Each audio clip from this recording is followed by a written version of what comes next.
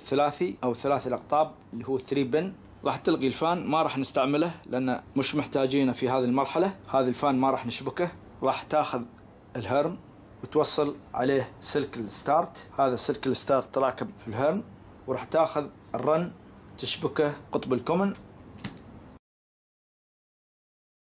وراح تاخذ الوصلة مال السلك البارد وتشبكها في ال common مع سلك ال run.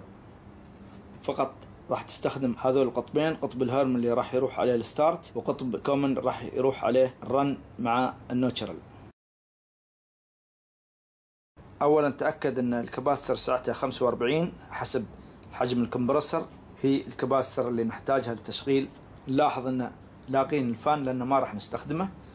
الحين راح نشغله بال 3 pin. بسم الله.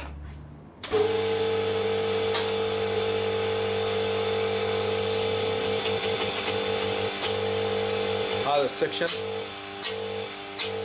وهذا ال discharge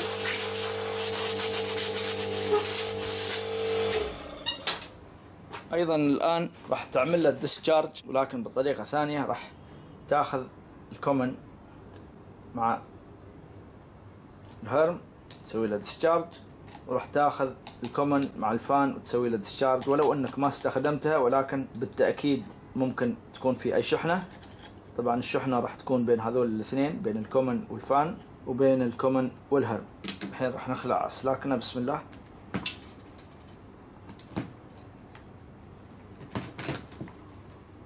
وبذلك نكون أعزائي المشتركين المشاهدين قد تعلمنا كيفية توصيل أسلاك الكمبرسر بالكباستر الثنائي أو الكباستر الثلاثي وتشغيله.